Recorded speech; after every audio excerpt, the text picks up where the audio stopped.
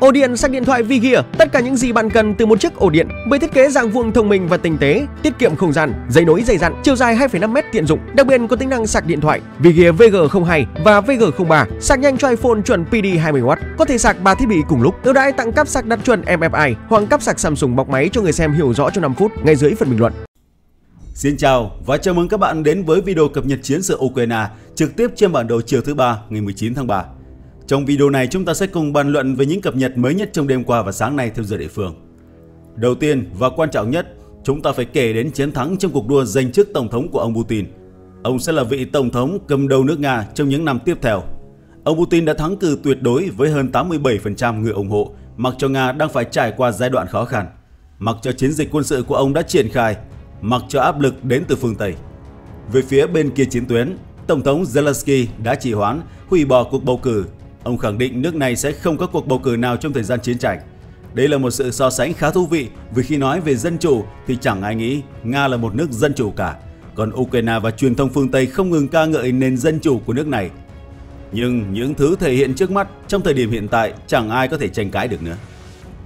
Tiếp tục video với chiến sự tại Zaporizhia, quân đội Nga phóng hàng loạt UAV vào vùng đất này, kèm theo đó là những tờ truyền đơn khẳng định Zelensky đã cướp đi quyền tự chủ của người dân cướp đi quyền bầu cử của họ để tự quyết định tương lai của mình. Đồng thời, Nga đưa ra một ví dụ hoàn hảo cho thấy dù là trong hoàn cảnh nào, nước Nga cũng sẽ tổ chức bầu cử theo luật pháp quốc tế.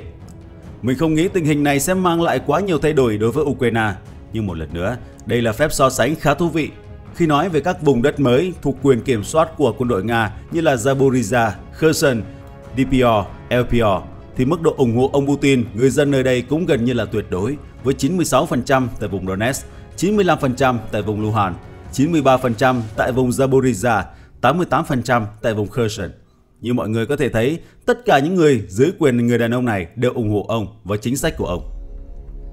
Kết thúc nội dung về cuộc bầu cử của Nga, quân đội Ukraine tiếp tục tấn công tầm xa vào vùng Belgorod.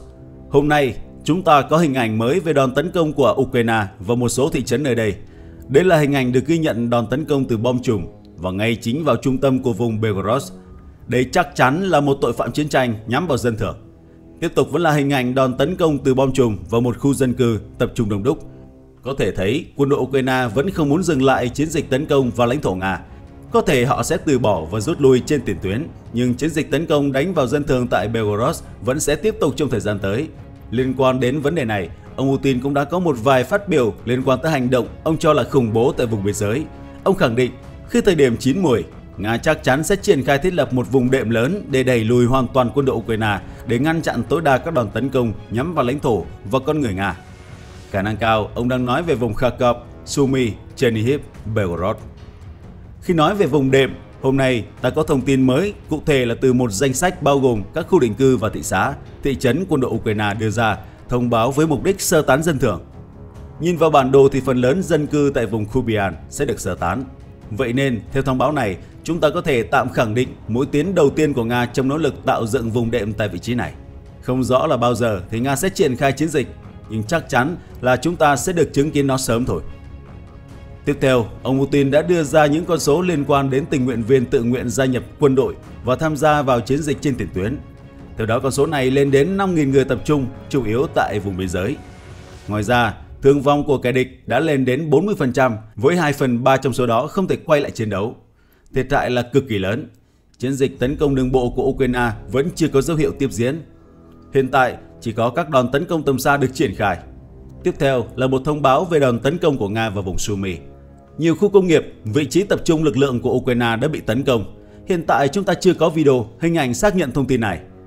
Tại Konotop, quân đội Nga đã phát hiện ra một nhà máy quân đội của Ukraine cũng không hẳn là phát hiện ra vì trong quá khứ nơi đây là một nhà máy quân đội Ukraine sử dụng để sửa chữa, bảo dưỡng UAV và trực thăng chiến đấu.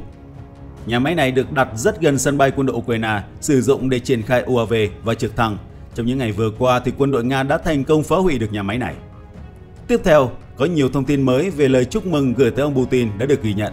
Chúng ta có thông báo từ Iran, từ Belarus, từ Triều Tiên và đáng chú ý nhất là lời chúc mừng ông Putin được gửi tới từ giáo hoàng Francis mình nói là nó đáng chú ý bởi vì đây là một lời chúc đến từ người thuộc các nước phương Tây. Ngược lại với các lời chúc mừng thì phương Tây đã phủ nhận cuộc bầu cử và kết quả của cuộc bầu cử tại các vùng đất mới của Nga. nhưng mình không nghĩ lời phủ nhận này sẽ có bất kỳ ảnh hưởng nào đến người dân Nga cả. Chuyển tiếp tới cập nhật trên tiền tuyến, tại bờ Tây Adiska, Bộ Quốc phòng Nga đăng tải video mới về chiến dịch tấn công của Nga. Sau chiến dịch này, quân đội Nga đã thành công chiếm đóng được một số cứ điểm phòng thủ của đối phương. Chưa có nguồn nào định vị được video này nên chúng ta sẽ tiếp tục chờ đợi thông tin tiếp theo. Tại Berdichi, thêm một số công trình nữa đã nằm gọn dưới quyền kiểm soát của Nga. Trong đêm qua, quân đội Nga đã đánh vào khu vực phía đông bắc khu định cư bằng pháo nhiệt áp TOS. Cuộc chiến tại Berdichi sắp sửa đi đến hồi kết. Thiệt hại to lớn được ghi nhận dành cho Nga, nhưng về phía Ukraine thì con số cũng là tương tự. Tại Olivka cũng ghi nhận chiến thắng cận kề của Nga. Vùng kiểm soát mới của Nga có thể được biểu thị như sau. Quân đội Ukraine chỉ còn có quyền kiểm soát tại một vài dãy công trình tại tuyến phố Novoselip. Quân đội Ukraine sẽ sớm phải đánh đổ con đập tại sông Duna để làm chậm đà tiến công của Nga trong thời gian tới. Chưa có thông báo gì mới tại Taranke và Krasnohorivka. Tiếp tục với thông tin tại Novomikhailivka, Thông tin mới chủ yếu được cập nhật từ nguồn tin Ukraine. Theo đó, Ukraine đăng tải video tấn công vào đoàn xe quân sự của Nga bắt đầu từ ngày 10 tháng 3. Bên trong trung tâm khu định cư cũng ghi nhận các cuộc giao tranh ác liệt. Lữ đoàn cơ giới số 79 đăng tải đoạn video ghi nhận chiến dịch tấn công được khởi động bởi quân đội Nga và đơn vị tiến công này đã bị quân Ukraine đẩy lùi. Tình hình nói chung là vẫn chưa có thay đổi gì quá đáng kể. Có thể chúng ta sẽ nhận được những thay đổi mới tại trang trại đang thuộc vùng tranh chấp, nhưng đó là tất cả chẳng có gì đặc biệt. Nói chung là sau khi kết thúc cuộc bầu cử, giờ thì quân đội Nga muốn làm gì cũng được, kể cả là bắt đầu quá trình điều động quân đội. Tiếp tục video với tình hình tại Huliapole, quân đội Nga tấn công vào các công trình tại Malinivka, sử dụng tên lửa LMUR. Đây là loại vũ khí mạnh nhất Nga từng đem vào sử dụng tại vùng lãnh thổ này. Một số cập nhật mới cũng liên tục được đăng tải tại bờ nam Malinivka và Huliapole. Khả năng cao, căng thẳng quân sự sẽ tiếp tục leo thang tại tiền tuyến nơi đây trong thời gian sắp tới, khi nói về Zaporizhia và Kherson thì tình hình vẫn chưa có gì đổi khác. Chuyển tới tình hình tại Odessa, vì lý do nào đó mà quân đội Ukraine đã bắt đầu thiết lập trận địa và xây dựng phòng tuyến mới tại vùng Odessa và Mykolaiv. Không sớm thì muộn, giao tranh sẽ được đẩy tới vùng đất này. Chưa biết là tương lai đó khi nào sẽ xảy ra, nhưng thái độ của Ukraine hiện tại khiến cho chúng ta phải suy nghĩ rất nhiều. Trong 24 đến 48 giờ vừa qua, quân đội Nga đã triển khai số lượng lớn đòn tấn công nhắm vào hạ tầng quân sự, nhà máy tại Mykolaiv. Sau đòn tấn công thì có ghi nhận về một nhà máy quan trọng đã bị phá hủy hoàn toàn. Nhà máy này được quân đội Ukraine sử dụng để tu sửa, thậm chí là sản xuất xe tăng. Mình cũng không rõ là thông tin này có thật không, nhưng báo viết là nó có thể sản xuất xe tăng. Các đòn tấn công của Nga nhắm vào Odessa cũng được ghi nhận. Nhiều trung tâm huấn luyện, cảng biển Trung tâm chỉ huy đã bị Nga hóa thành cho bụi sau các đòn tấn công từ UAV Dragon, tên lửa từ ngày 15, 16, 17 tháng 3. Tất cùng đến với thông tin tiếp theo về chuyến thăm của Bộ trưởng Bộ Quốc phòng Anh cùng sĩ quan hải quân cao cấp nước này tới Kiev. Các quan chức cấp cao đã mang thông tin của Cục Tình báo Anh đến cho Kiev. Sau cuộc hội đàm kết thúc thì ông có trả lời phỏng vấn truyền thông. Theo đó, anh tin rằng Ukraine nên tập trung nhân lực, vật lực để tấn công vào Crimea và hạm đội của Nga tại Biển Đen đồng thời tạm dừng chiến dịch phản công của mình. Hai người đã có buổi gặp mặt cùng với Zelensky, Omeros và Sersky, những người có thể gọi là người đứng đầu nhà nước quân đội Ukraine. Ông Radakin lo rằng Tổng tư lệnh của Ukraine đang quá tập trung vào các cuộc giao tranh trên tiền tuyến và ông kêu gọi Kiev nên từ bỏ các chiến dịch tấn công, phản công trên tiền tuyến tại bờ đông và bờ bắc Ukraine, đồng thời rút quân về các tiền tuyến phía sau và tập trung phòng thủ. Tất cả những phát biểu, lời khuyên trên không phải là đến từ cảm tính hay suy nghĩ của cá nhân mà nó là kết luận từ thông tin được cung cấp bởi Cục Tình báo Anh. Đó là tất cả thông tin cho video này. Cảm ơn các bạn đã quan tâm và theo dõi. Chúc mọi người một ngày tốt lành.